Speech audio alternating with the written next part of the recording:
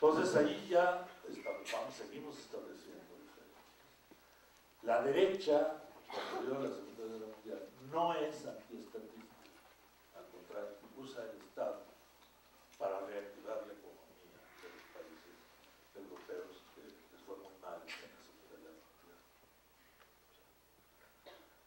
Y esa es la razón por la que muchos este, servicios sociales siguen siendo incluso gratuitos en la mayor parte de los países de Europa Occidental, como la educación, incluso a nivel superior, o como la salud, o el seguro del desempleo, prestaciones que incorpora la derecha europea después de la Segunda Guerra Mundial como una necesidad para reactivar el capitalismo en esos países. El mismo Conrad Adenauer, que era demócrata cristiano, hizo este, este, eh, llevó a cabo una política de esta naturaleza que en México todavía sigue discutiéndose y todavía la Secretaría de Educación Pública quiere poner cuotas en la educación. Lo está haciendo ahora, haciéndole caso a la OMC o a la ONU. Entonces, después de la Segunda Guerra Mundial, la ultraderecha estatista y que tenía el poder fue derrotada, derrotada en dos países, bueno, en tres incluimos Japón, es decir, en Italia, en Alemania y en Japón. No fue derrotada en España y en Portugal, porque además estos dos países mantuvieron una cierta neutralidad durante la guerra. España no se alineó formalmente con el nazismo y Salazar prefirió alinearse con Inglaterra al mismo tiempo que llevaba a cabo una política fascista en Portugal.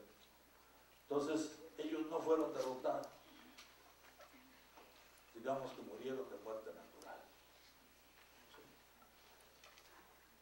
Franco en 75 y el esos años, creo que en 74 con la revolución de los claveles. Entonces, esa ultraderecha dejó una semilla ideológica tanto en Europa como en México y el resto de América Latina y en Estados Unidos y sobre todo en Estados Unidos. Pero fue asumida de diferentes maneras en los diversos países que componen los conjuntos que he mencionado. La ultraderecha en Estados Unidos es, está dividida en dos partes, dos grandes bloques. El bloque de los pobres,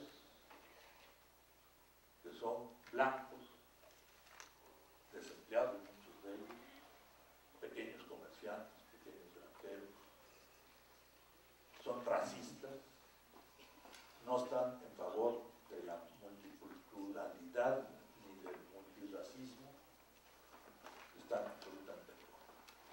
Pero también están en contra de los gobiernos que favorecen a los grandes capitales. O sea, los ven como enemigos. Y además asumen que los grandes capitales están controlados por los judíos. Y que los gobiernos le hacen el pueblo a los judíos. Bush, por ejemplo. Lo cual no está muy lejos de ser cierto en el caso de la relación Bush-Israel. Entonces, ahí hay una, una, contradicción, pues, entre los fascistas y neonazis norteamericanos como Aryan Nations, como National Alliance, etc., que son grupos formados por skinheads, por, este, por jóvenes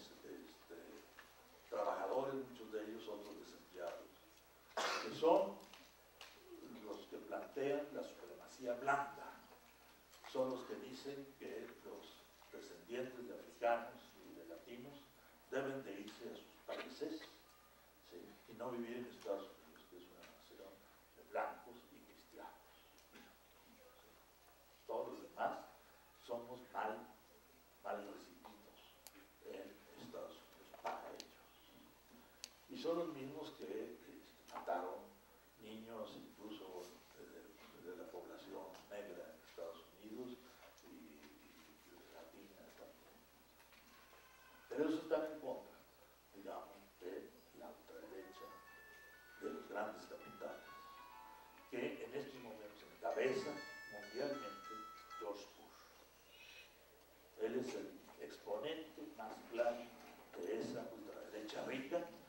aliada con los intereses empresariales y que depende mucho de los consejos que le da Dick Cheney, que es, digamos, el más extremista de este grupo gobernante de Estados Unidos.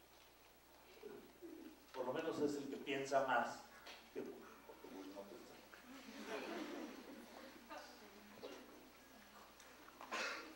En Europa, en Europa también hay que distinguir. Por ejemplo, en la Gran Bretaña el nazismo está proscrito. Ninguna organización política puede tener la suástica este, como emblema de su organización. Ninguna puede declararse nazi o no nazi, ni puede ostentarse como tal.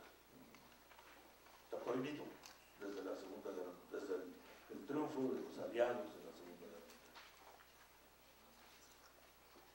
Sin embargo, existe, y además existe en dos niveles. Un nivel que es la ultraderecha, digamos, este, más o menos de clase media para arriba, que está en el British National Party de Inglaterra, de Gran Bretaña, que es legal y que participa en elecciones y que dirige Griffin. Y está también la ultraderecha pobre, formada por desempleados blancos, este, y sobre todo del norte de Inglaterra, es decir, donde estuvieron, están los, los estados, eh, digamos, eh, donde surgió la revolución industrial, y que hoy están en bancarrota. O sea, son toda la parte de Yorkshire, todo lo que es desde Liverpool hasta Sheffield, en el norte